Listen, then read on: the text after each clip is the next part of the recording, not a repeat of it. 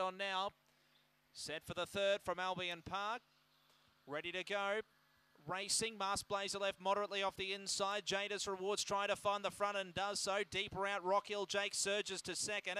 Then Mask Blazer is third. Railing up was far more women. Further back, two zipping Paula Blue Sensation. And last of all, keep tracking. Now Rock Hill Jake hits the accelerator, races away, puts up seven lengths. Second, Jada's Reward. Then far more women, but it's all Rock Hill Jake. Bolts in the favourite. Second, far more women kick back to grab that spot from Jada's Reward. Then zipping Paula. Followed next over then by Keep Tracking, Blue Sensation and Masked Blazer and around 23 even.